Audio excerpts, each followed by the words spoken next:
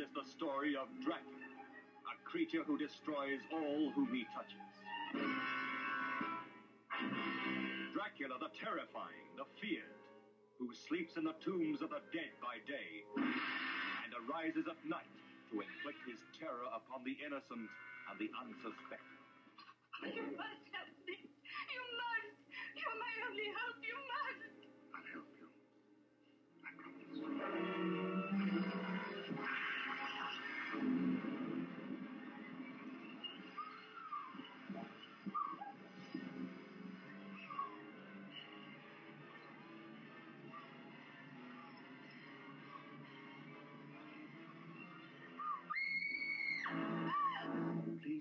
Understand.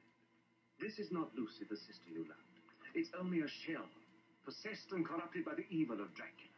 How do you destroy a fiend who has so far proven himself indestructible? Those who come to end his reign of terror stay to become his victims. Castle Dracula is somewhere here in Klausenberg. Will you tell me how I get there? You ordered a meal, sir.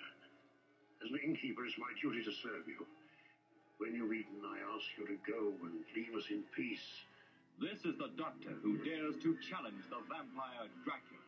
This is the anguished man who fears for the lives of his beloved, the girl who is his sister, and the one that is his wife.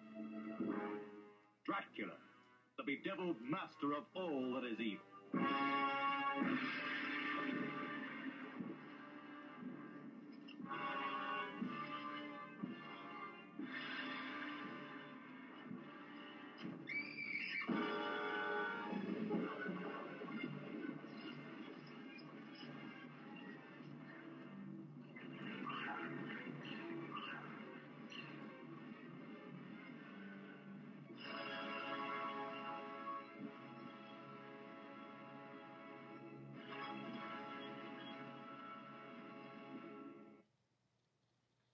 Christopher Lee, Horror of Dracula.